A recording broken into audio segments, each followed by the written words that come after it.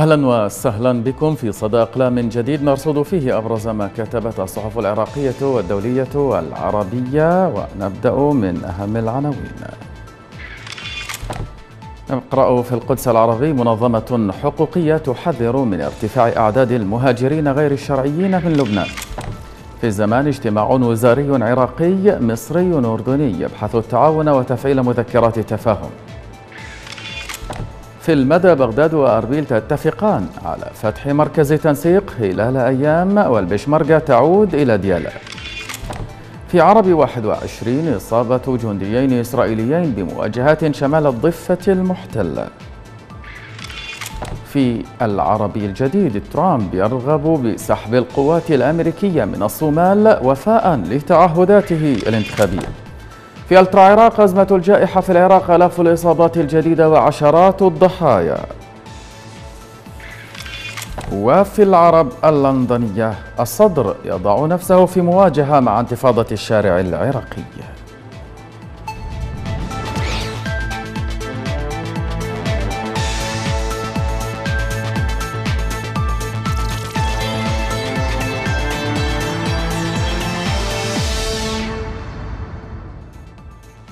مشاهدينا الكرام أهلا وسهلا بكم إلى حلقة جديدة من صدى الأقلام والبداية مع هذا المقال المنشور بصحيفة العربي الجديد ويقول فيه كاتبه في خضم الصراعات السياسية المغلفة أحيانا بطابع الصدام الإقليمي والدولي في العراق تضيع تفاصيل إنسانية كثيرة لا يمكن السكوت عنها والمرور عليها مرور الكرام.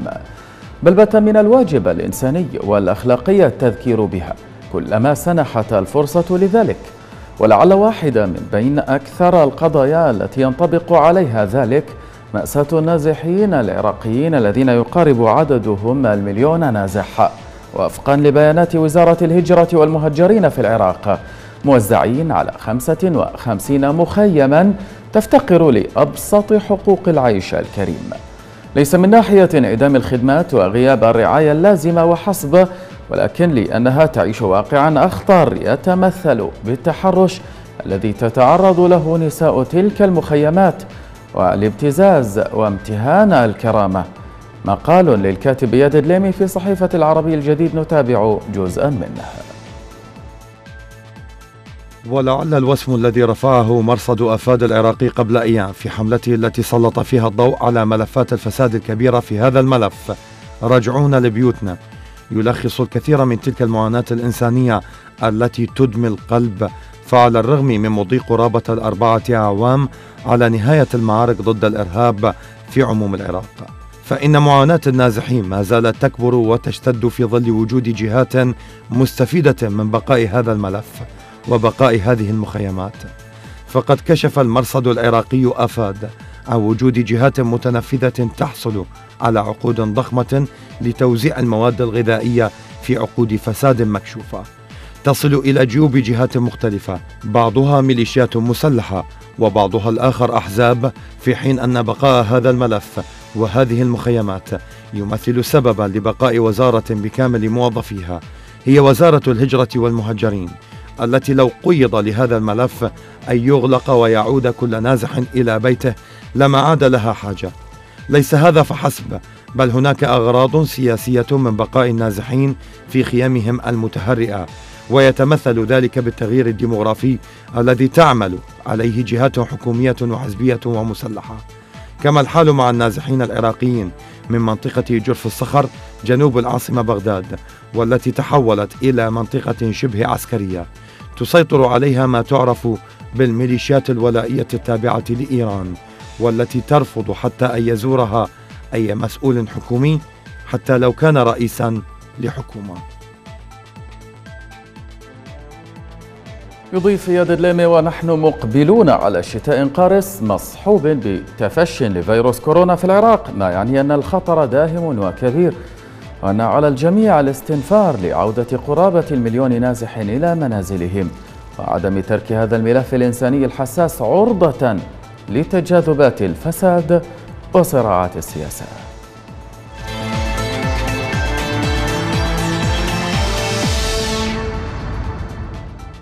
إلى ما قال منشور في ألترا عراق وجاء في مطلعه. في اعتصامات المناطق الغربية استخدمت حكومة المالكي ومن معها ذات الأساليب. وصفت المعتصمين بأقذع الأوصاف لكن التركيز كان على طائفتهم. إن الجواب الحاضر لقاعدة الحكومة الاجتماعية هو هؤلاء سنة يريدون انتزاع الحكم منكم. بهذه الطريقة تتوارى الأسئلة الأخرى. جاءت انتفاضة عن الأنظار أو تتوارى الانتفاضة عن الإنذار وجاءت انتفاضة تشرين 2019 بطريقة صعبت على السلطة وأحزابها استخدام الأوراق التي أتيحت لها إبان اعتصامات الغربية. حول الموضوع كتب زي وليد في موقع ألترا عراق. توجت الأحزاب الإسلامية حالة الهستيريا التي تعيشها لأسباب التي استعرضناها بعد حادثة كربلاء الأخيرة. لقد شعرت أن المتظاهرين يسرقون أداة الدين المستخدمة في السياسة. دخل المتظاهرون ملعبا محرما بالنسبة للأحزاب فحمل صور السياسيين والأعلام الحزبية والعسكرية. ليس إقحاما للسياسة بالدين بإعراف سلطة المحاصصة لكن حمل صور الشهداء تشرين والهتاف ضد أمريكا وإيران. سلوك منحرف يسيء للزيارة. إن فقدان الشرعية مرتبط بفقدان الشعبية والعكس صحيح.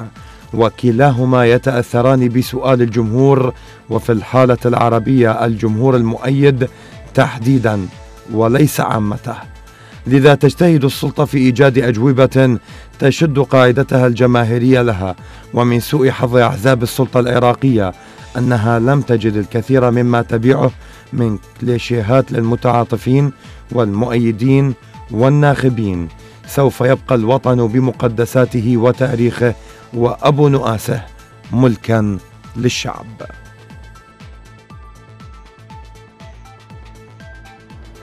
ويتابع زي وليد كانت ميزة تشرين التاريخية أنها انتفاضة شعبية لجماهير من كل الطوائف بعناوين وطنية ودينية في ذات الوقت. رفع الشباب راية الأئمة بوجه من يحكمون باسمهم فأسقطوا خديعة الدفاع عن المذهب المستمرة منذ 16 عاما حين رد الجلاوزة بالنيران والأسلحة القناصة على متظاهرين سلميين من أبناء مذهبهم.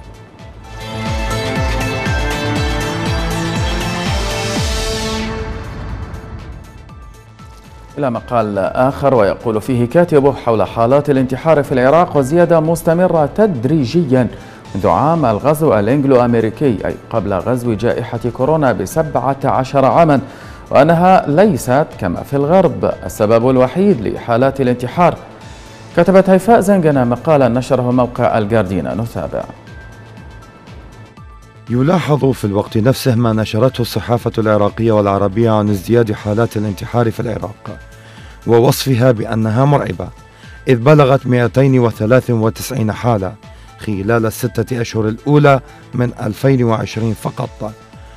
وتتميز بانتحار الذكور أكثر من الإناث.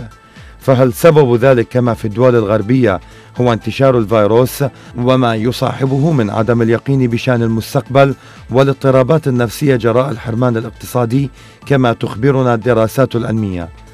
أم أن ما يتعرض له المواطن العراقي مختلف تماما أو متعدد المستويات مما يسرع في رغبته بالانتحار. في عام 2006 نقل موقع ريليف ويب التابع للأمم المتحدة في مقال ضغوطات العنف تقود إلى الانتحار تصريحا لوزارة الصحة بناء على إحصاءات من مشرحة ومستشفيات بغداد في خمس مناطق. إن نحو عشرين شخصا ينتحرون كل شهر. وقال أحمد فتاح عضو إدارة التحقيق في الانتحار بوزارة الصحة. إن الأرقام مرتفعة بالمقارنة مع تلك التي كانت موجودة قبل عام 2003 عندما كان لدينا حالة انتحار واحدة أو اثنتين في الشهر. معظم الحالات لشباب تحت سن التاسعة والعشرين وأغلبهم من الذكور. وختمت هيفاء زنجنا مقالها بقولها إيجاد حل للصحة النفسية والعقلية بالعراق. يتطلب ليس معالجة انعكاسات الجائحة في الشهور الأخيرة فحسب ولكن التعامل معها باعتبارها عمقت بحلولها الخراب السياسي والاقتصادي والمجتمعي الموجود أساساً.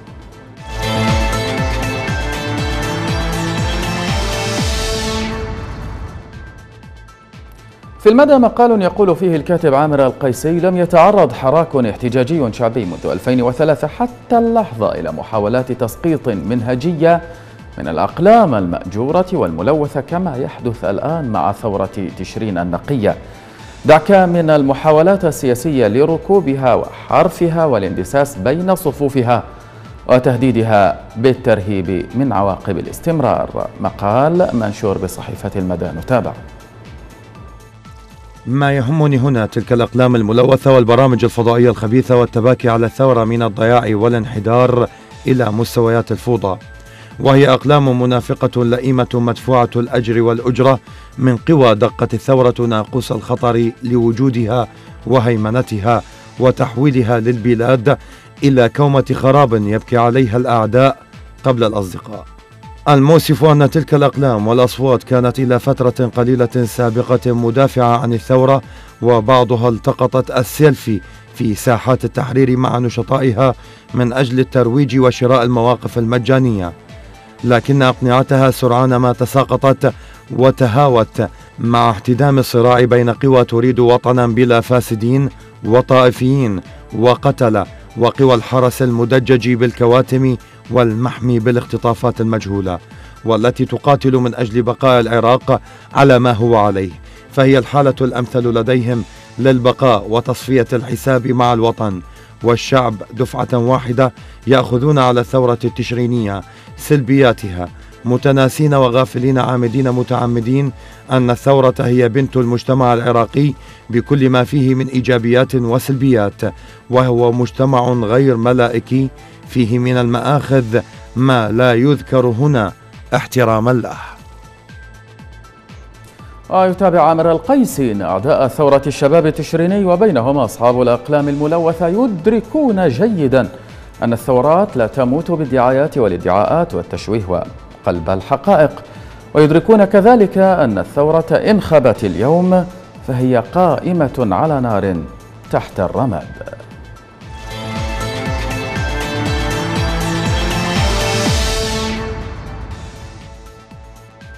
يقول علم السياسة بأن الصدامات والحروب العسكرية الصغيرة أو المحدودة يمكن أن تنبئك عن استراتيجيات الآخرين وكذلك عن طبيعة الصراعات والأهداف الجيوسياسية في المحيط القريب لبؤر التوتر. وأيضا في المحيط البعيد. ويبدو أن جولة القتال الحالي بين أذربيجان وأرمينيا حول إقليم ناغورني كاراباغ التي بدأت أواخر شهر سبتمبر الماضي 2020 أفضل تعبير عن هذه الحالة. فرغم أن الحرب هي بين الدولتين المذكورتين لكن الحقيقة أن هذه المنطقة مسرح صراع واهتمام بالغ الأهمية بين مثلث جيوسياسي يتكون من روسيا وتركيا وإيران وكل له أسبابه الخاصة حول الموضوع كتب مثنى عبد الله في صحيفة القدس العربي. يقينا ترى تركيا نفسها في مهمة غاية في التحدي على خط المواجهة في الصراع العسكري والسياسي الدائر اليوم في البلقان. وهذا يدفع الكثيرين للتساؤل عن مآلات النشاطات المفرطة لها في بيئتها الإقليمية وحتى في أماكن أخرى بعيدة. لكن أنقرة ترى أن تحريك الخطوط في أماكن مختلفة وفي توقيت واحد يصنع ديناميكية سياسية ويصب لصالح استراتيجية فاعلة فتدخلها تراه عاملا مهما في تغير قواعد اللعب في جميع الساحات ويصنع ضغطا يجبر جميع الأطراف على إعادة النظر في حساباتهم. نعم روسيا دولة كبيرة وقوة عظمى في المنطقة لكن تركيا ترى أن الدول الكبرى قد تجبر أحيانا على السير في طرق تفتحها لهم قوى أقل وزنا فيسيرون فيها لتحقيق تقدم يعود بالفائدة على الجميع. هي تستند في هذه الرؤية إلى تراكم خبرة من التعاون والتنافس والتناقض ودعم معسكرات متضادة تشاركت فيها مع روسيا وإيران في سوريا ومع روسيا في ليبيا لكن ذلك لا ينفي حقيقة التباين في المصالح وخسارة تركيا لبعض أوراقها في هذه الساحات لصالح الأطراف الأخرى. لكن المآل المقبل هو أن جميع الأطراف ستتقاسم الحصص وتختفي سيادة أذربيجان كما حصل في العراق وسوريا وليبيا.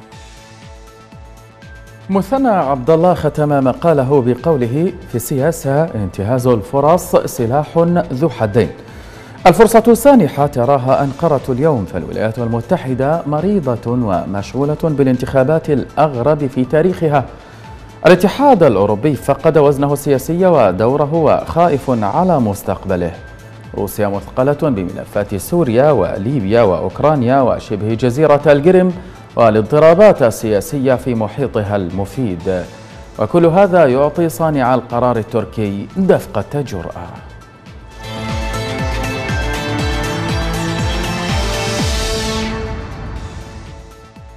إلى آخر المقالات وهو عن ماكرون وإرث فرنسا الاستعماري. في الأشهر القليلة الماضية كان للرئيس الفرنسي إيمانويل ماكرون خروجان مسرحيان كبيران. الأول في بيروت بعد الانفجار المأساوي لمرفأها وما أعقب ذلك من عرض ما سمي بالمبادرة الفرنسية لحل الأزمات السياسية والاقتصادية العميقة في لبنان. أما الثاني فكان في باريس حين عرض مشروعه الذي قال إنه سيتصدى للانعزالية أو الانفصالية الإسلامية في المجتمع الفرنسي وما تسببه بحسب قوله من تهديد خطير لعلمانية فرنسا ونظامها الجمهوري محمد كريشان يكتب عن ماكرون في صحيفة القدس العربي. جائحة كورونا وما فرضته على فرنسا من تحديات صحية واقتصادية فظيعة كانت أولى بالاهتمام. فقبل نهاية هذا العام سينضم مليون فرنسي إلى تسعة ملايين وثلاثمائة ألف ممن يعيشون تحت خط الفقر المحدد ب 1063 يورو كدخل شهري. وهو ما يستلزم أجوبة سياسية محددة وعاجلة وفق تعبير صحيفة لوموند التي خصصت قبل أيام افتتاحية لهذا الموضوع مستعرضة أن عدد طالبي المساعدة الغذائية في البلد ارتفع بنسبة 30% مع ارتفاع في عدد طالبي المساعدة المالية من الدولة والعاجزين عن دفع إيجار بيوتهم. فضلا عن كل ما خلفته الجائحة من صعوبات لا حدود لها في أوساط فئات هشة من العمال القارين أو الموسميين. وتشير لوموند أن هذه الفئات الهشة تتعرض حاليا إلى محنة مزدوجة فهي من ناحية أكثر عرضة للإصابة بالفيروس بحكم ظروف عملها وسكنها القاسية. ومن ناحية أخرى هي الضحية الأولى لتقليص فرص العمل وتضيف الصحيفة الفرنسية أن الحكومة وإن كانت تصرفت بشكل جيد وسريع في مجال تقديم المساعدات والإيواء إلا أنها تحتاج اليوم إلى موائمة استراتيجيتها الخاصة بمقاومة الفقر مع هذا الواقع الجديد غير المسبوق. في اتساعه وقسوته. يكمل محمد كريشان مقاله بقوله إن الخروج المسرحي الأول أراد به ماكرون ولو ببعض الاستعلاء والوصاية استعادة مكانة دولية لفرنسا لم تعد في أغلب أوجهها قائمة بذاتها خارج سياق المناكفة مع تركيا ومحاولة عرقلة سياساتها ونفوذها الإقليميين في تناغم مع محور إسرائيلي خليجي لم يضع نصب عينيه في المقام الأول سوى مثل هذا الهدف. هدف آخر يتعلق بإيران لا يبدو ماكرون متحمسا له في الوقت الحاضر.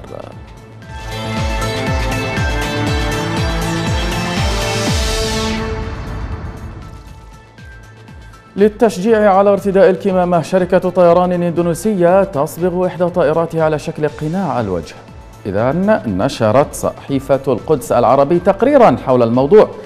حيث تقوم شركة طيران جوردا إندونيسيا بطلاء مقدمة إحدى طائراتها من طراز بانك بتصميم جديد لقناع الوجه كجزء من حملة للترويج لارتداء أقنعة الوجه وسط فيروس كورونا في مطار تاتيغرانغ.